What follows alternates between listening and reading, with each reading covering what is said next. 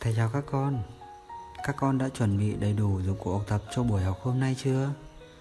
Các con chuẩn bị cho thầy giấy màu, bìa màu, bút vẽ, màu vẽ, kéo và hồ dán Chúng ta cùng đến chủ đề hôm nay Các con có biết trong những dịp lễ Tết mọi người thường tặng nhau những chiếc bưu thiếp xinh xắn để gửi gắm tình cảm của mình với mọi người xung quanh. Trong giờ hôm nay thầy sẽ hướng dẫn các con làm một tấm thiệp xinh xắn để gửi tặng những người thân yêu của mình, nhất là mẹ và cô. Trước tiên, chúng ta xem mục tiêu bài học hôm nay là gì nhé. Thứ nhất, hiểu được ý nghĩa của bưu thiếp. Thứ hai, làm được bưu thiếp đơn giản tặng mẹ, cô giáo hoặc những người mình yêu quý. Thứ ba, giới thiệu, nhận xét và nêu được cảm nhận về sản phẩm của mình. Bây giờ chúng ta cùng tìm hiểu chủ đề nhé. Các con hãy xem một số bưu thiếp sau đây.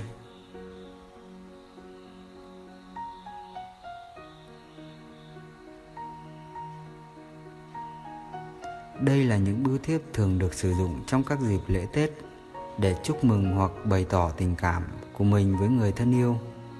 Bưu thiếp thường được làm bằng bìa, giấy hoặc vải. Bưu thiếp có nhiều hình dạng như hình vuông, hình trái tim, hình tròn. Trên bưu thiếp còn có các hình ảnh trang trí và chữ thể hiện nội dung của trang trí thường là các đề tài về hoa lá, về chim muông, con người, cây cối, vân vân và được trang trí bằng nhiều chất liệu khác nhau để tạo nên vẻ đẹp riêng. Các con thấy đấy, những hình ảnh trang trí cần phải cân đối, hài hòa, bắt mắt.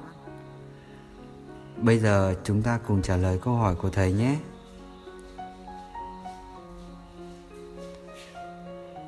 Bưu thiếp dùng để làm gì? Trang trí trên bưu thiếp có những thành phần cơ bản nào? Có thể làm bưu thiếp bằng những chất liệu gì?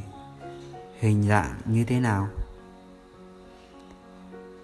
Các con hãy suy nghĩ và xem đáp án có giống với thầy không nào? Bưu thiếp dùng để gửi tặng những người mình yêu quý. Trang trí bưu thiếp gồm hai phần cơ bản là mảng chữ và mảng hình trang trí. Bưu thiếp có thể làm bằng giấy màu, bìa cứng và hình dáng đa dạng phong phú như hình vuông, hình chữ nhật, hình trái tim.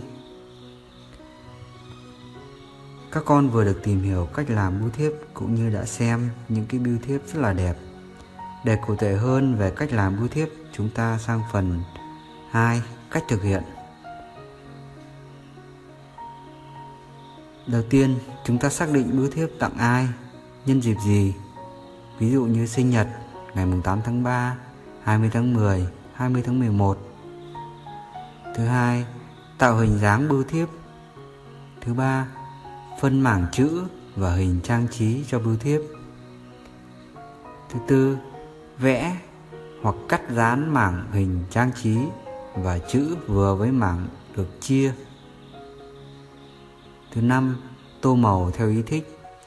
Thứ sáu, viết thêm nội dung thể hiện tình cảm của mình vào phần trong hoặc phía sau bưu thiếp. Sau đây là các bước làm bưu thiếp. Các con hãy đọc to các bước làm bưu thiếp nhé. Bước 1. Tạo hình dạng bưu thiếp, phân mảng hình và chữ. Bước 2. Vẽ, cắt dán hình trang trí vừa với bưu thiếp Bước 3. Hoàn chỉnh và viết nội dung trên bưu thiếp. Bây giờ thầy sẽ hướng dẫn chúng ta làm bưu thiếp. Chúng ta chú ý nhé.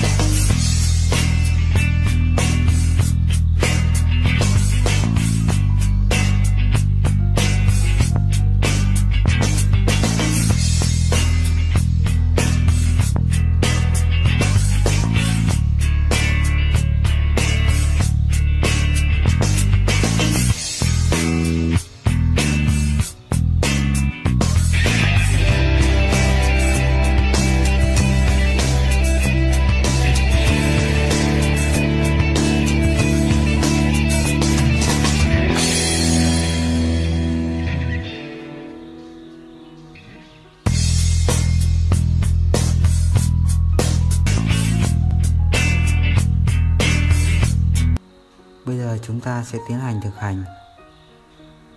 Các con hãy làm một bưu thiếp tặng mẹ hoặc cô như ngày 8 tháng 3, 20 tháng 10 hoặc 20 tháng 11. Sau đó viết nội dung vào bưu thiếp. Lưu ý sau khi chúng ta hoàn thành bài hãy nhớ chụp và nhờ bố mẹ gửi bài của mình cho cô giáo chủ nhiệm hoặc gửi cho thầy nhé. Bài học hôm nay của chúng ta đến đây là hết rồi. Hẹn gặp lại các con ở bài mỹ thuật hôm sau. Chào tạm biệt các con.